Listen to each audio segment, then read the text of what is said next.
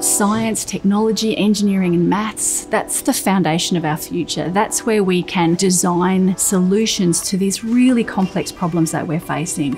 Being involved in a STEM pathway really helps you understand the world around you. You may never work in a STEM field, but at least you then have that understanding so you can make informed decisions. Students who study STEM and study it in an interdisciplinary way actually develop not only the discipline skills that they require, but they also develop all of those other things that go with that. Things like being able to think critically and creatively, things like being able to be entrepreneurial, Things like being able to be a problem solver. All of those are the skills that really make studying STEM such an amazing opportunity. My school is very interdisciplinary focused, and so you get to experience all different aspects of STEM and different opportunities in life. It pushes that different type of environment that allows you to exceed. And so, even if you think you want to, for example, become a doctor, but you learn more engineering in a class, you might want to change your pathway because you really enjoy doing this subject. Our students, they can access information on any subject in a way that when we went to school was not possible. And so providing them with the skills and abilities to look at that information, select what's useful for them, and then produce something that they can communicate and share with others, I think is at the heart of where we need to be.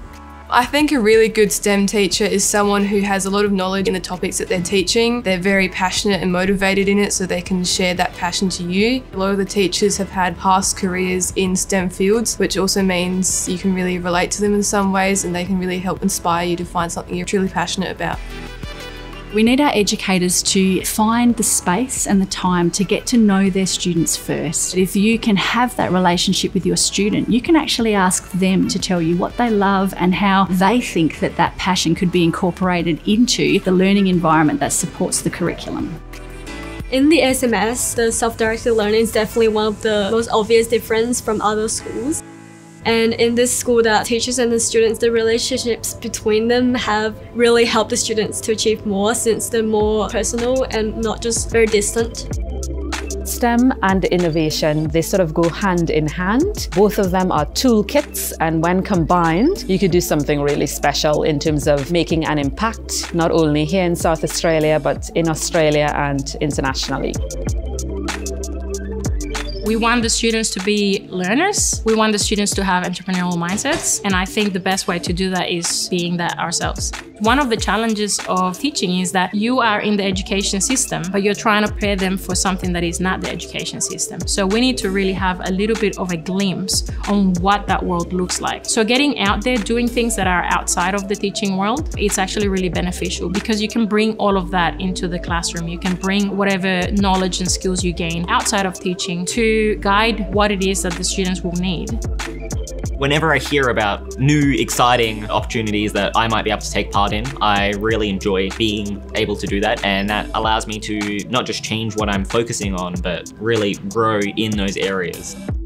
The biggest successes that I see connected with students are just when you see them working in class and they encounter a new problem and they seem unsure how to do it and think that they can't. But then with a little encouragement, you see them start to make connections. So with that, there's never one big success, but I think you see lots of little successes all the time where you realize someone has realized that they can do things for themselves, they can solve this problem, and they can then solve any problem. ASMS is a great example of what education of the future looks like for our students. It's really around we are learners in this together, having wicked problems that they want to solve together, challenging each other, and actually loving that challenge of problem-based approach to learning.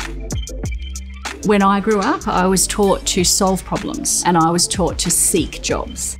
What we are facing now is a world where we want to teach our children to find problems and create jobs. And that, I think, is where STEM provides this amazing foundation for us to actually change the entire way that we think about the world. I think we're in a really interesting time when entrepreneurial mindset and skill sets is needed in every organisation. And some people look at entrepreneurial mindset and think about it from a financial perspective, but actually it's about better. You have someone who comes with an entrepreneurial mindset, they might look at a job they're doing and go, there's actually a better way to get a better outcome for the client that I'm working with if we did it this way.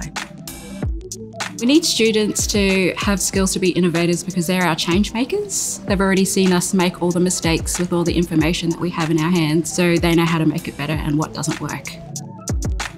I have really loved and enjoyed working with entrepreneurial education because I can see the change that it does and the impact that it has on teachers and students. So with teachers, I think that the biggest change they experience is the engagement from the students. And with students is the feeling of empowerment that their learning can be a tool for them to succeed.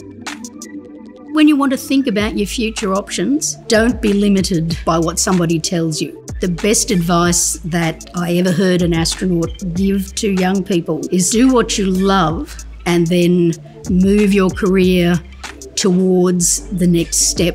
Even if you don't get some aspect of that career, you're still doing things that you love, and your passion can take you a lot of places knowing that I or that any individual has the capability to really go and just make a big change like that is what's exciting to me. It's what, you know, inspires me.